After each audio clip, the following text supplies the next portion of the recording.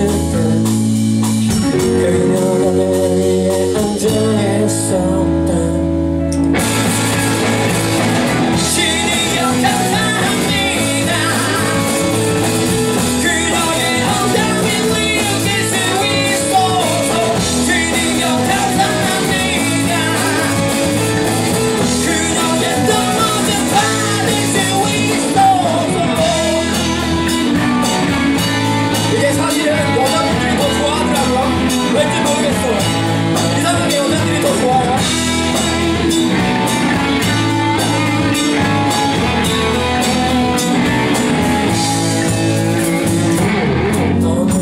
그대는 낯선 남자 내 위에서 그녀는 개처럼 섹시해 나는 너무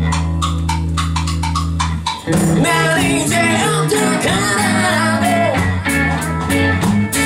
널 보기 위해서 변기가 되었나 난. 이제 어떡하라고 이렇게